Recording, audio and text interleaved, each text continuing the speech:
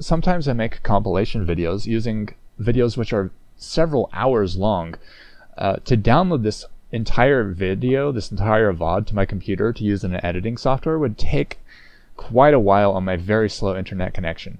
I have found a way to download just a section, just a clip, just a portion of any VOD on Twitch uh, using command line tools FFmpeg and YouTube DL.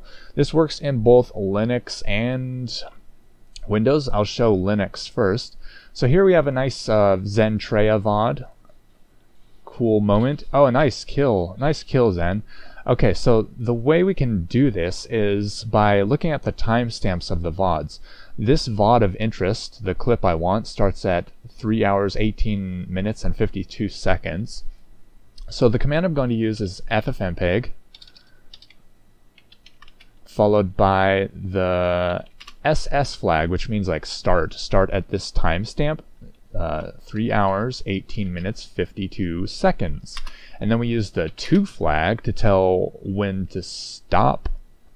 So the timestamp at which to stop. So I'm going to do 3 hours, 18, 18 minutes, and 56 seconds.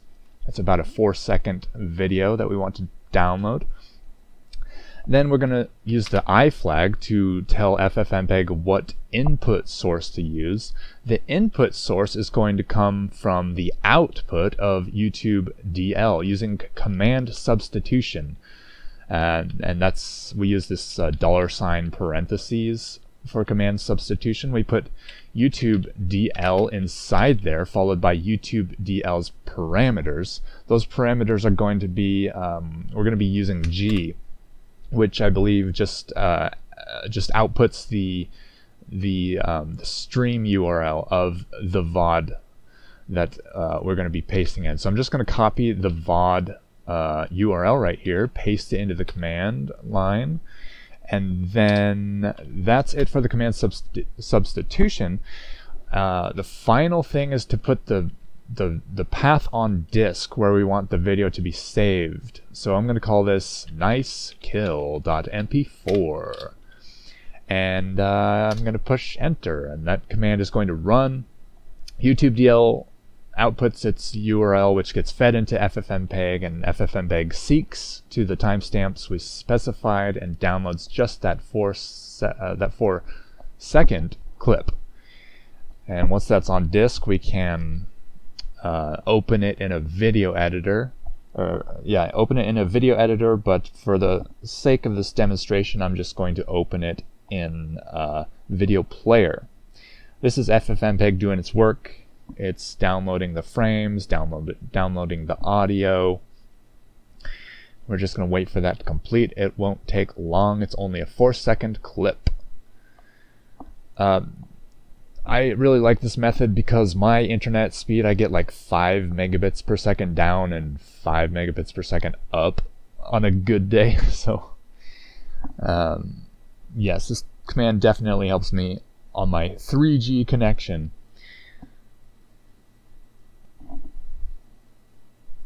The video is completed. Let's use MPV to uh, display that, uh, to just to play the video. MPV, uh, what was it called? Nice MPV, a nice kill. Yeah, Zen. Nice kill. Nice kill. Alright, so now let's go ahead and do the same thing on Windows, just to show that it is possible on Windows as well. Of course, this depends on FFmpeg and YouTube DL being installed, and I'm going to be using PowerShell here. I'm just going to change directories to the downloads folder. The command is almost identical, FFmpeg, followed by the SS flag, followed by the to flag, oops, I'm getting ahead of myself. The SS flag followed by the timestamp, 3 hours 18 minutes 52 seconds, followed by the to flag, 3 hours 18 minutes 56 seconds. The input specification, which is the output of YouTube DL, with the G flag followed by the URL to the VOD, https colon slash slash twitch, oops, uh, let's see, www.twitch twitch.tv slash videos slash 10734951990.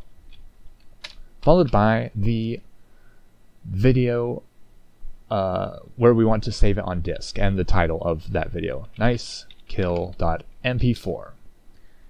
And this is going to be just like the output in Linux.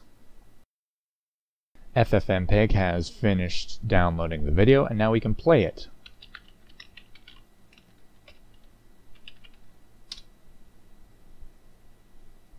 Yeah, headshot.